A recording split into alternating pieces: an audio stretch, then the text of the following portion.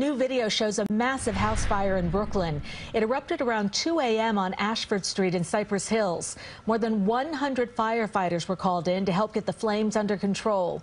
We're told five people were hurt, including two firefighters. They are expected to be okay and no word yet on the cause.